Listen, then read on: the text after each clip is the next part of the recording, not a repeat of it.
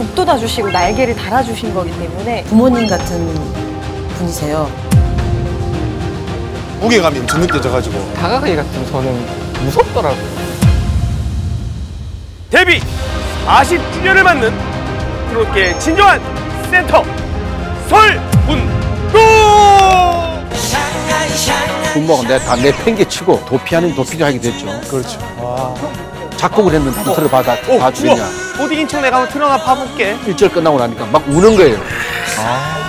집사람이 작사에 이렇게 참여하게 된 계기는 뭐냐면 다시 만들어졌어요. 대박. 근데 그게, 가능한 거? 그게 왜냐면 그러니까 전무후무한다는 게 뭐냐면